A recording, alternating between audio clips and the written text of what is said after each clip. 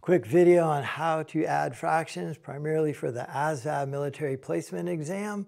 Uh, this is one thing that a lot of people really have trouble with and shows itself quite frequently in both the arithmetic reasoning and the mathematical knowledge portion of the exam. Um, if you're a member of the channel, please feel free to post any comments, ask me uh, any trouble you're having, and I'll try and make a short video like this. So I had a comment, you know, like I just can't get this idea adding fractions. Okay, so to add fractions requires the understanding that a fraction represents part of a whole. The top number is how many parts, the bottom number is the whole. You can easily add parts of a whole if they are of the same size. So if they have the same number in the bottom, that's called a denominator, then it's really easy to add. You just add across the top, keep the bottom the same. So here's the first case scenario. If I have 1 fifth plus 2 fifths, I add right across the top to get 3. I keep the bottom the same, fifths. So 1 fifth plus 2 fifths is 3 fifths. That's how easy it is if the denominators are the same. However, usually the denominators are not the same, and now let's take a look at that. So fractions with different denominators now what you have to do is find the least common denominator. So this is the smallest number that both denominator, denominators divide into evenly.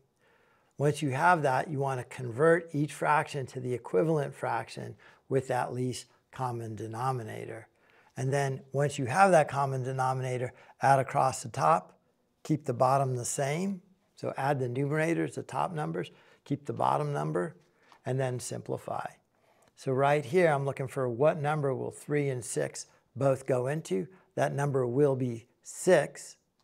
Okay, so that's step one, least common denominator is 6. Now I think, how do I turn a 6 into a 6? It's already a 6, I don't have to do anything.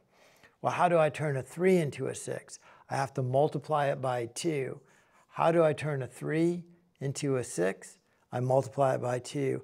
I can't just multiply something by 2 without affecting the value. I have to have an equivalent. So the way I do that is I multiply by a factor of 1. 2 over 2 is the equivalent of 1. Anything multiplied by 1 does not change the value. So I'm going to multiply by 2 over 2 to give me 2 times 1, 2, 2 times 3, 6, plus this fraction, 1 over 6. Now I have that common denominator. This 2 6 is the equivalent of 1 third. They have the same weight. They are the same thing. They are equivalent. But now I've converted it to a similar denominator. So now I have 2 6 plus 1 6. So I've done that. Now I add across the top to get 3. Keep the bottom number the same, 6. So my answer is 3 6. Step 4 simplify. Well, 3 will go into 3 one time, 3 will go into 6 two times. These are equivalents. They have the same weight.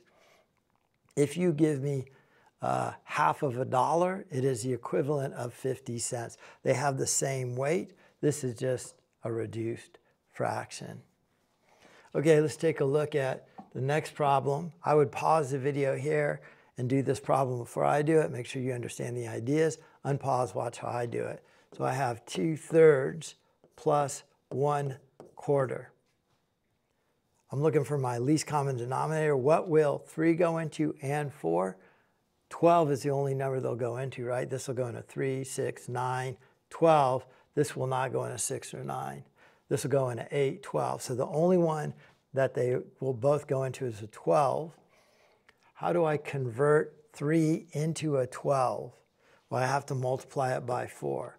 I can't just multiply it by 1 over 4. I can only multiply it by a factor of 1 so as not to affect the value. So I'm going to multiply that 2 thirds by 4 over 4 to get an equivalent. 4 times 2 is 8. 4 times 3 is 12. Remember my least common denominator in this problem was 12. How do I get that 4 into a 12? Well, I have to multiply it by 3 to get to a 12. I could only multiply by 1. I'm looking for an equivalent fraction with a bottom number, denominator of 12.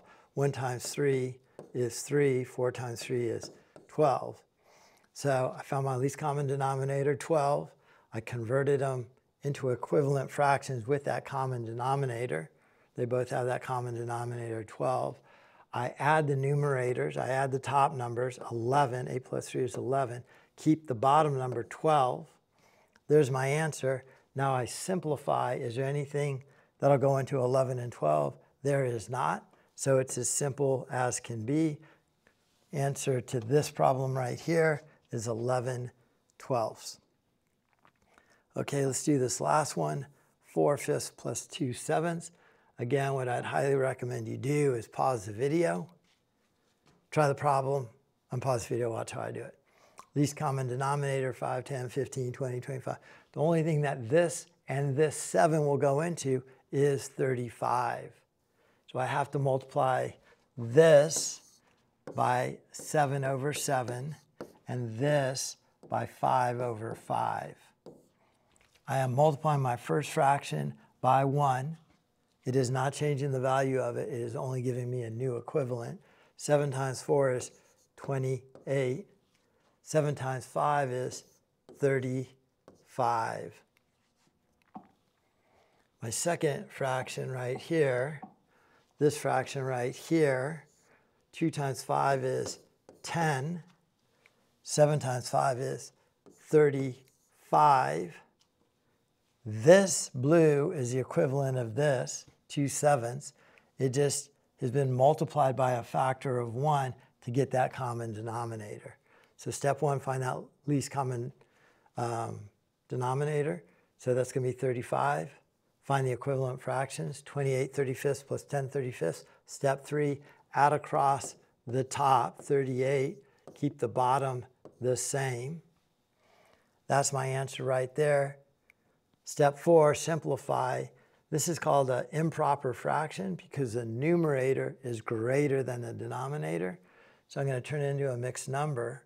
I'm going to do that by going 35 goes into 38 one time. Once 35 goes into 38, I have three left over. So it is 1 and 3 35ths. This and this are equivalent. They are both correct answers. If it asks for a mixed number, it would be this, or an improper fraction, it would be this. You need to be able to go back and forth between the two because this might sometimes be the multiple choice answer or this one. Again, they are equivalent. They are both correct. Uh, hopefully that was helpful on how to add fractions.